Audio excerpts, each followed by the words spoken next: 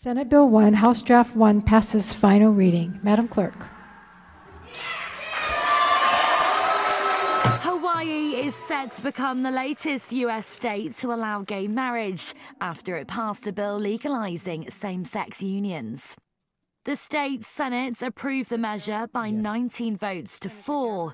The ruling was welcomed by hundreds of supporters in flowered garlands who filled the visitor galleries.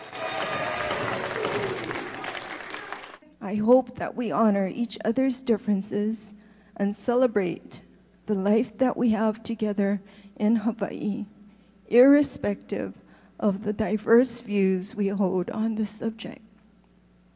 Life is too precious not to care for one another with compassion and respect.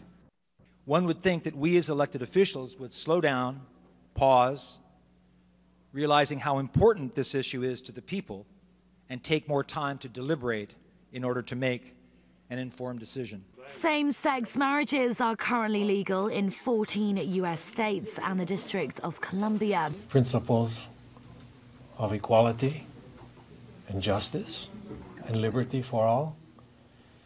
And mostly we stand on the principle that all marriages are now equal.